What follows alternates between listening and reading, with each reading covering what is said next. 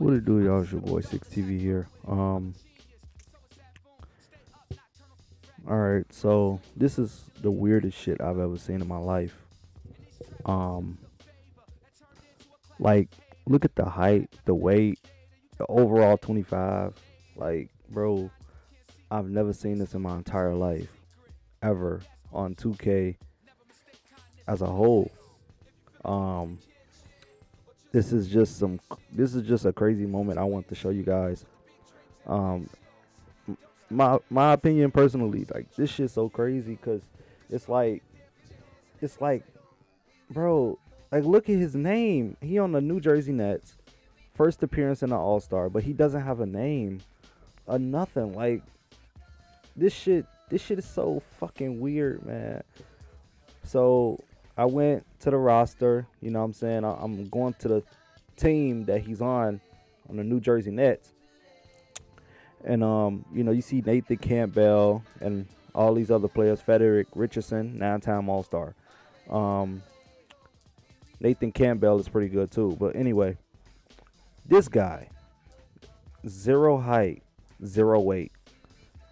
Um, man, like look at this. He's a point guard. He passed first. Secondary is a point guard. His height and everything is just it's just so wild, man. It's just so wild.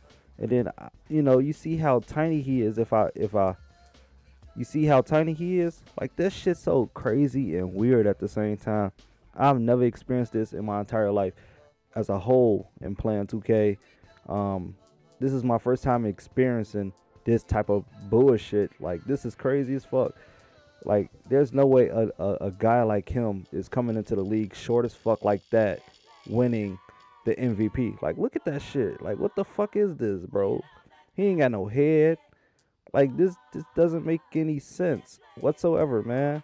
He got a jump shot.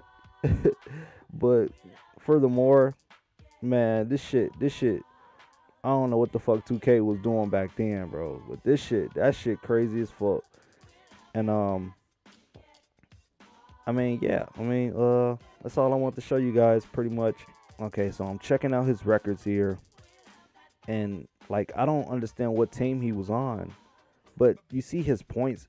He was averaging like 60 points the whole fucking career. Like what the fuck? Jersey number 0 my ass. This nigga one year. Like I don't I don't quite understand this point guard slash point guard. I don't quite understand none of this. His age is 2031. Like nigga, what? Bro, ain't no way that this nigga is that fucking old, bro.